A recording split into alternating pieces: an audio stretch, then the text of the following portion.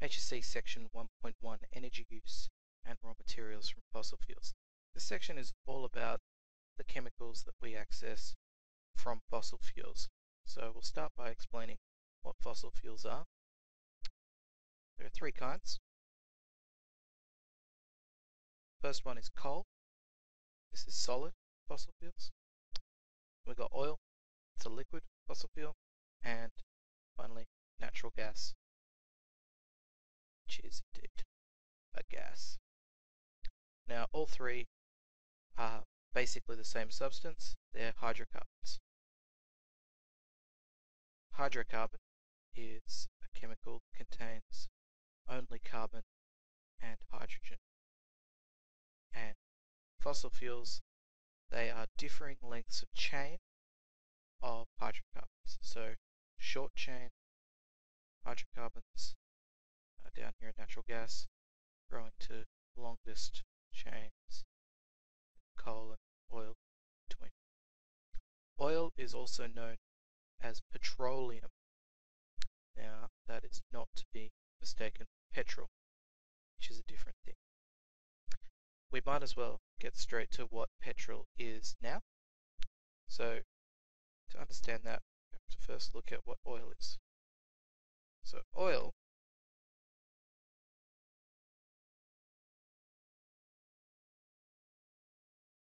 Oil is a mix of mid-chained hydrocarbons. It's also known as petroleum. And out of oil we can extract various mixes of chains of hydrocarbons. Now, one of those mixes we call colloquially petrol. Uh, the Americans call it gas. Uh, we call it petrol. Now, don't confuse petroleum with petrol. Petrol is a subset of petroleum. It's a product that we create out of petrol, out of petroleum. Now, how do we create uh, the various mixes of chemicals out of oil? Well, we do that by using fractional distillation in equipment that looks like this. So this is uh, industrial fractional distillation equipment. Hot crude oil is pumped in here at the bottom and various components of the oil are then extracted from the side the way it works is that the hot products mix around down here, they rise up and they condense at various levels. Anything that condenses between here and here will flow out uh, on this shelf here into the lubricating oils. Anything that condenses here will flow out to the gas oils. Anything that condenses between here will flow out and be collected as kerosene. So this is a physical process, nothing's being done to change the chemicals themselves. What we're doing is we're taking a big mix of all different chemicals in here and we're using heat and condensation to separate out those chemicals into different groups. The gasoline group is towards the top the only thing that's lighter than that are light gases like butane and propane, which are captured out of the very top. So that's the fractional distillation process. Remember that it's a physical process, not a chemical process. The chemicals aren't changed, they're just sorted by this process. The constituents, uh, in particular gasoline or petrol,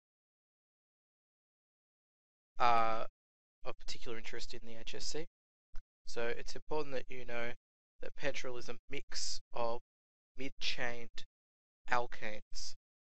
So it's alkanes. That's a word we're going to come up against a lot in this course. And an alkane is just a saturated hydrocarbon. So what that means is that, let's say we've got pentane here. Uh, it's got five carbons connected to each other and then it's saturated with hydrogen, which means it's got as many hydrogens as it could possibly have for the number of carbons. In this case, what that means is that it's got 12, if I count it correctly. Yep, 12. And no double bonds between any of the carbons. We'll deal with what double bonds do uh, a bit later, but for the moment, it's important to understand that if there was a double bond, that's going to take some of the four available bonds that carbons can have, which means that they're not going to be able to have as many hydrogens, which means it won't be saturated. Uh, if it has a double bond, then it's an alkene. So for all single bonds, that's A. has one double bond, that's an alkene. And it has a triple bond, that's an alkyne. That's the nomenclature there. Now, one important alkene is ethene. Just talk about that for a second. It's not an alkane, it's an alkene. Uh, now, it's called ethene or ethylene to uh, the same chemical. You can use them interchangeably. And it's got a double bond between the two carbons. So, uh, drawn it wrong there. Okay, because it's got a double bond, it's going to only be joining to four carbons. So a slightly different shape.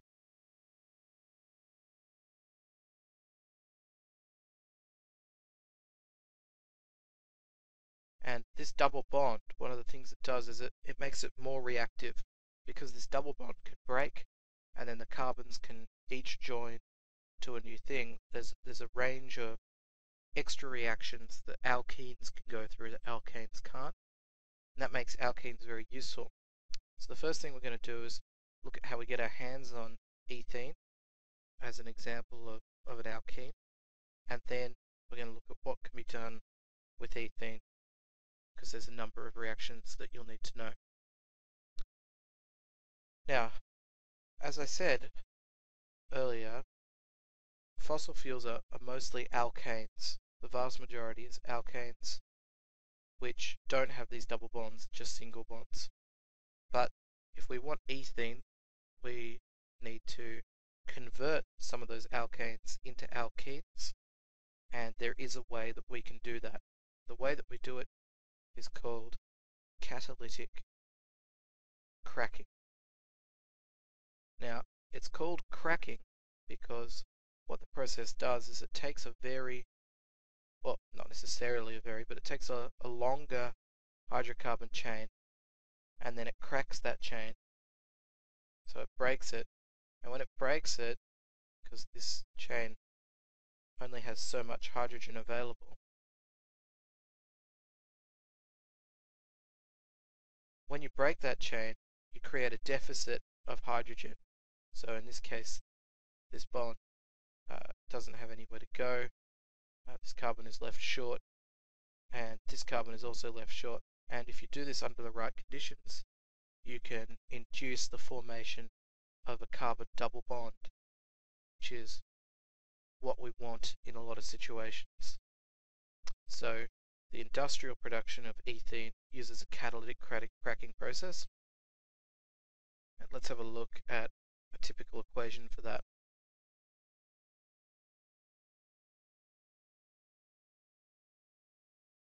Okay, so let's just look at this top equation here.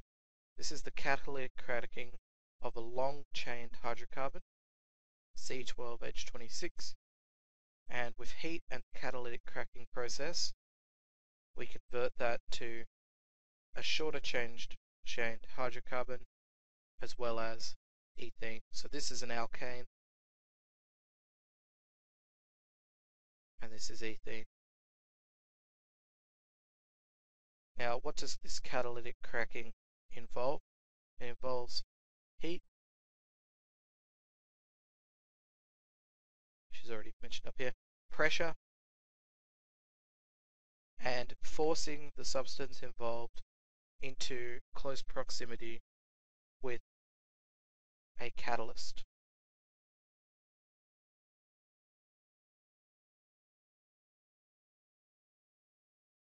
The active constituent of the catalyst is called zeolite. You may well need to know that. It's a zeolite catalyst is commonly used in catalytic cracking. So with heat and pressure, this substance is forced through a zeolite matrix.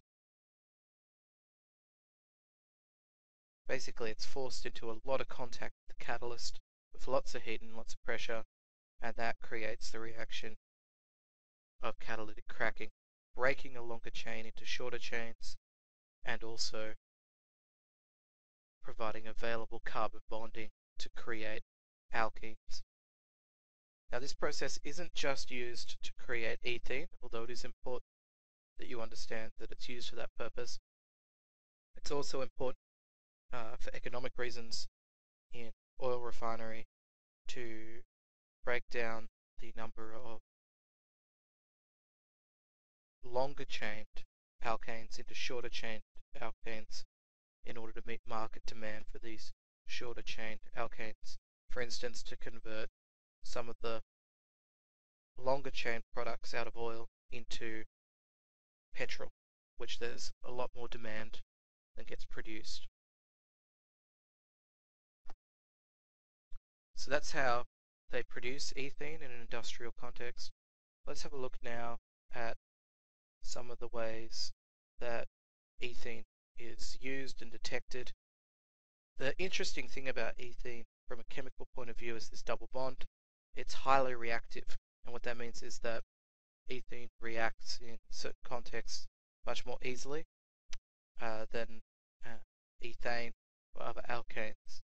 Uh, let's look at a couple reactions that demonstrate that. This is specifically with ethene, but it also goes for other alkenes as well.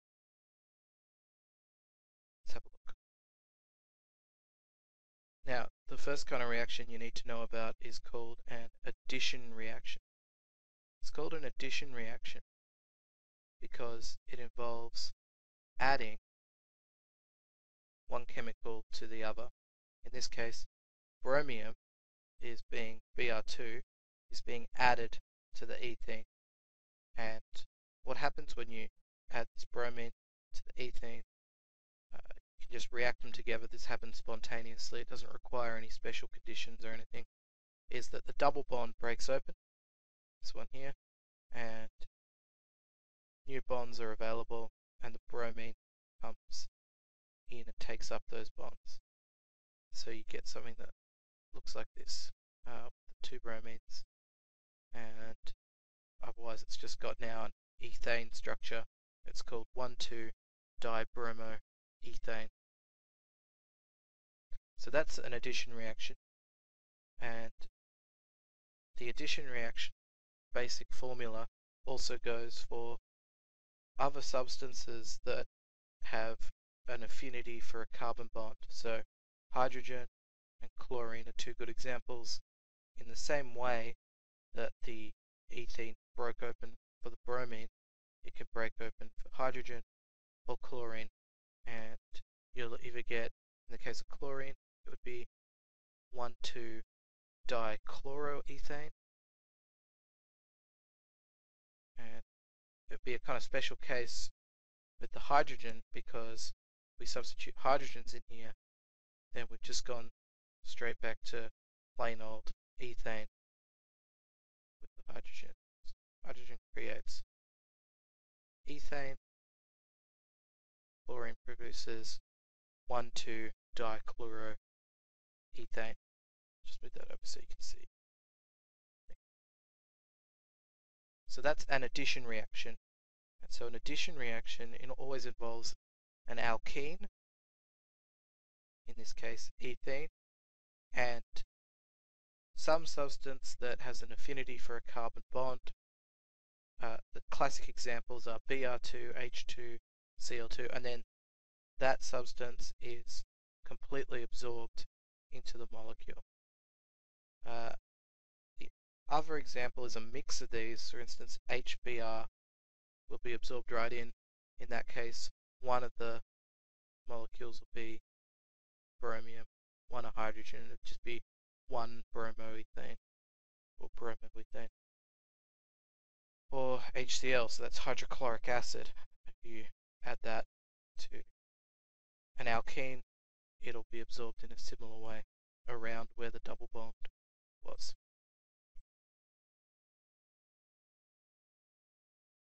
Now, there's a, another couple reactions that the double bond is very useful in that we'll come back to shortly, but first we're going to look at the counterexample to the addition reaction, which is known as a substitution reaction.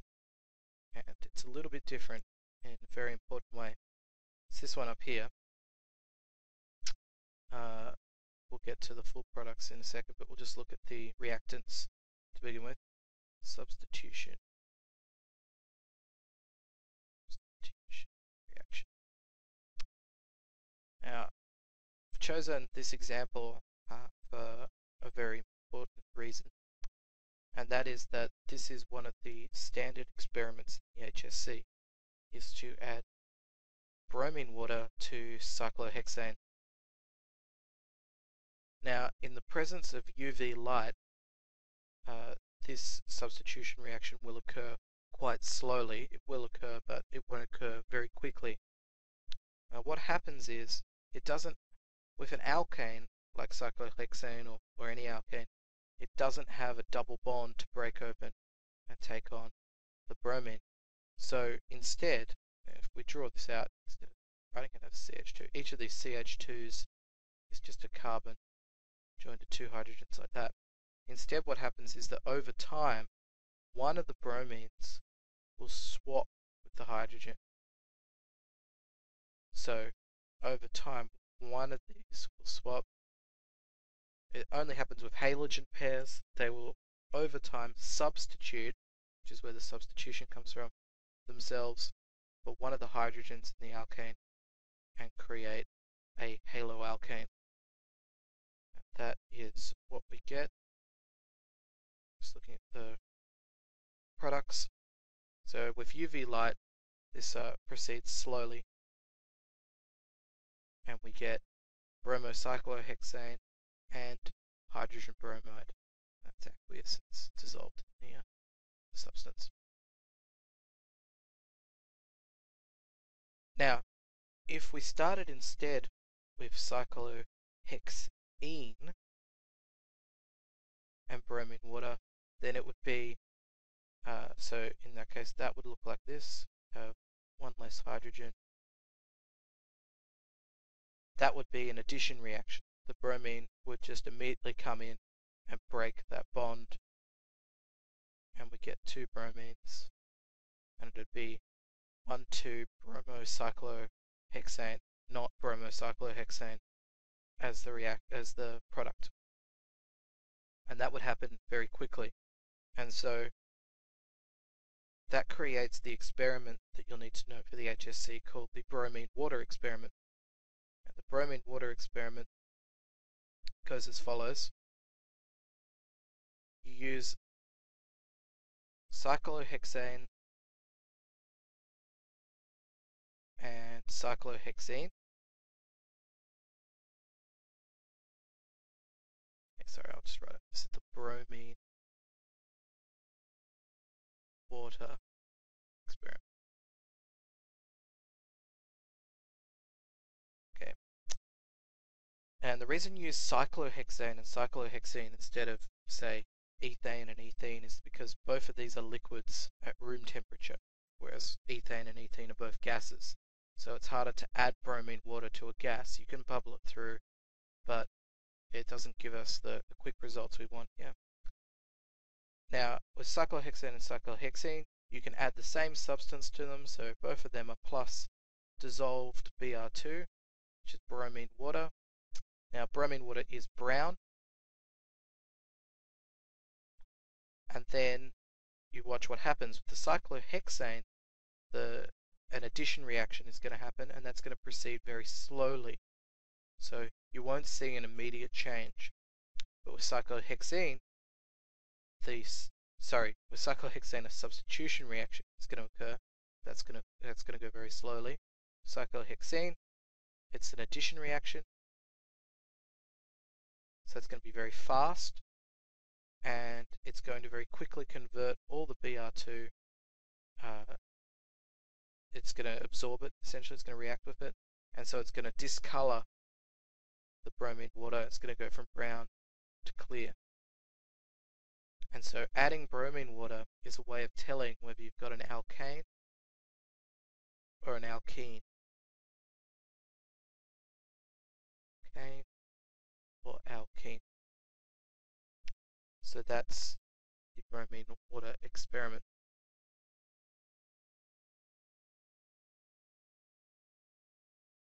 Now we're going to look at the way that an addition reaction can be used to create very, very large molecules. The first one we're going to look at is the production of polyethylene from ethene. Now, remember from earlier that ethene is also known as ethylene. So to say polyethylene is just to say many poly ethylenes. Uh, and as is suggested by that name, the, the chemical polyethylene consists of thousands of the molecule ethene joined together. Uh, in this uh, in this diagram, I've got the polyethylene with these dots. There's a unit right here, and then these dots. What that means is that it just repeats over and over again. In this case, it repeats thousands and thousands of times. And the way that this works is that a process is, uh, is started where the ethene's double bond breaks. And that means that these carbons, because carbons can have four bonds each, they now have an extra bond available and instead of joining on to something else like with the normal addition reaction, what they do is they join on to another one of these ethenes. And then that ethene has its own bonds broken and the process continues on. So this process is known as polymerization and ethene converting to polyethylene is an addition polymerization reaction. So it's an addition reaction, and it's an addition reaction that leads to the production of a polymer. So it's an addition polymerization reaction. They're called polymerization reactions because they create polymers. A polymer is simply a molecule that is composed of many poly examples of a monomer. So in this case, ethene is the monomer to polyethylene's polymer. Whenever we produce one chemical by repeating thousands of units of a precursor chemical, we call that a polymerization process. And polyethylene is the simplest such molecule because it's simply a very, very long chain of hydrocarbons. It's a straight chain, just carbon and hydrogen. However, there are two different ways to produce polyethylene and they complicate the process somewhat. If we want to create a form of polyethylene known as high density polyethylene, we use what is known as the Ziegler Natta process. And what this does is it uses particular catalysts which are known as titanium chlorides.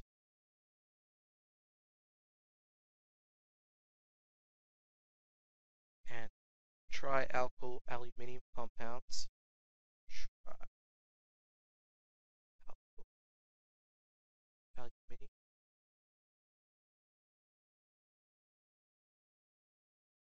And what this does is it creates a very large number of these long straight chains which then line up very easily next to each other.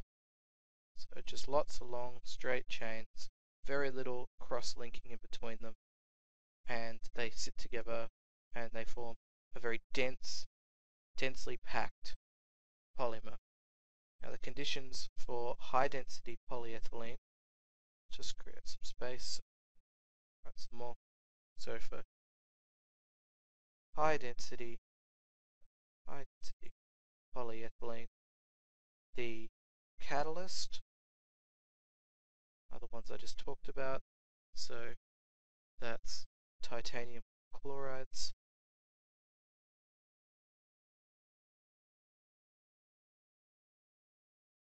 And tri alkyl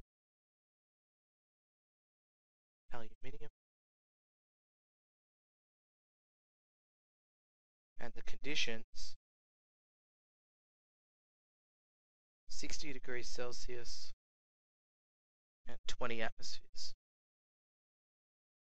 of pressure.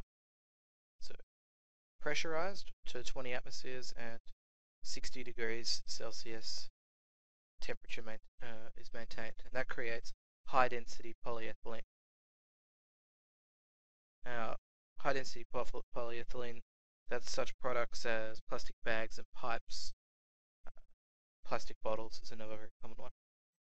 The other kind of polyethylene that we produce is known as low density polyethylene, and that uses a different process. It uses a free radical initiator of organic peroxide.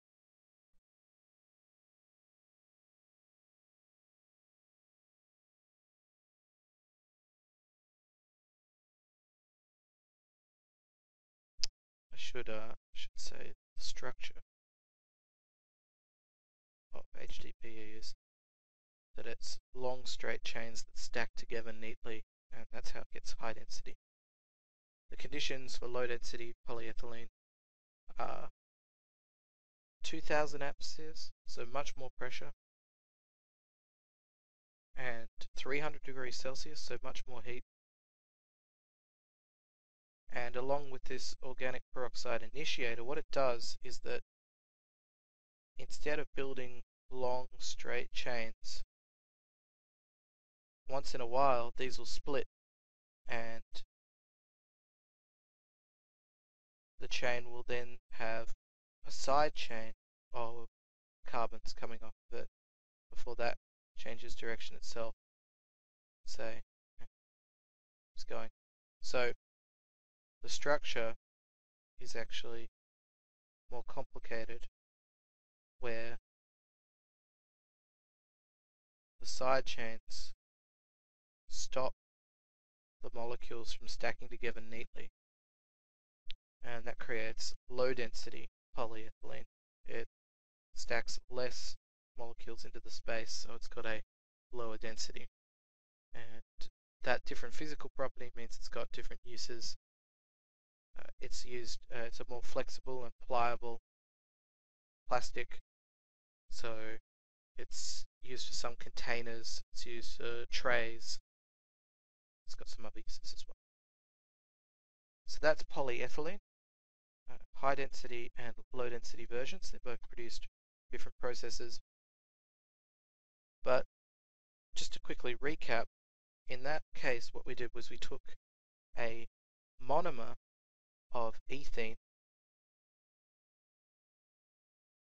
So that was our monomer. Put it through a process where we produced a polymer in this case broke the bond and joined them together. Now there's almost identical process for other monomers but monomers where instead of having ethene we have some other substance with a double bond. So because it's still got the double bond that can be broken we can still go through addition polymerization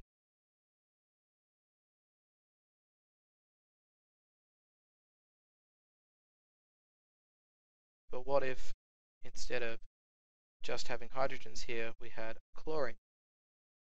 I haven't brought that example up for no reason. This is an important substance. It's known as vinyl chloride.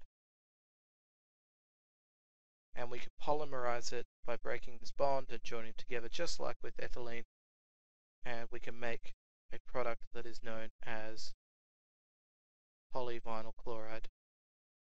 So that's that you might have seen it drawn out a bit neater back on the screen before. But that repeats thousands of times. And this is our polymer polyvinyl chloride, also known as PVC. You don't need to know too much about how it's produced, that's not part of the course, but you need to know it's an addition polymerization process, and you need to know what polyvinyl chloride is used for. Uh, there's much neater version of that equation.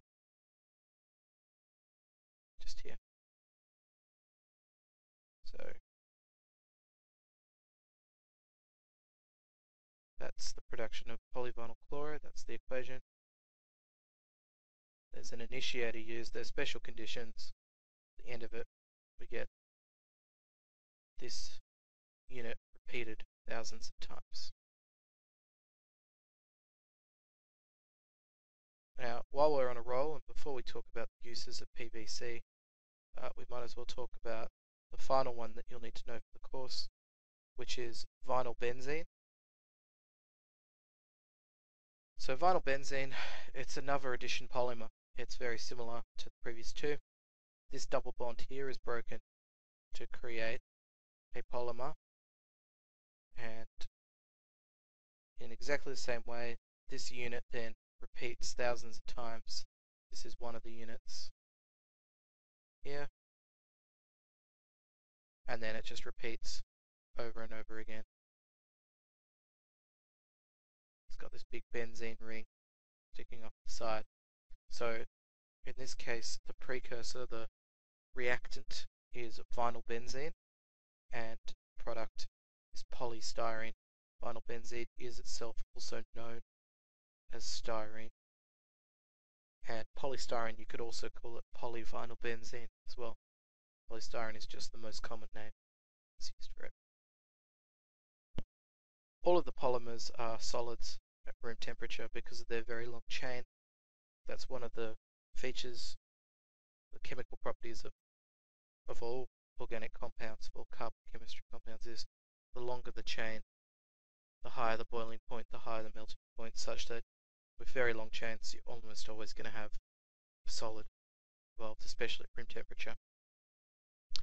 So that's vinyl benzene and polystyrene. We just talked about polyvinyl chloride. Question is then, well, the only thing you need to know is, apart from those two equations, is what they're used for. Well, PVC can be used for a few different things. PVC polyvinyl chloride is it's got certain properties and those properties mean it's got certain uses. It's water and flame resistant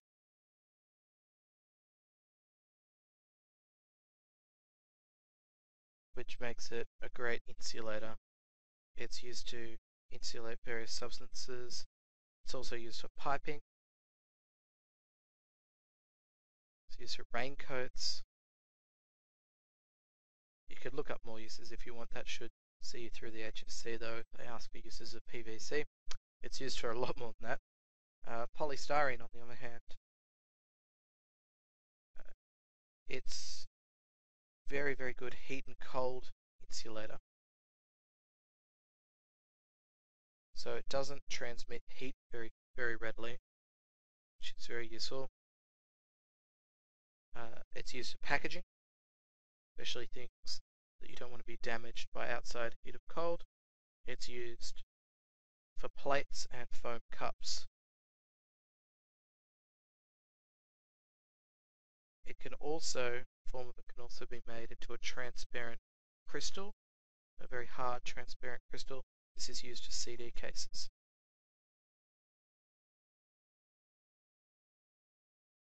So that's all the things that we can get by using addition polymers, and that's the end of section 1.1.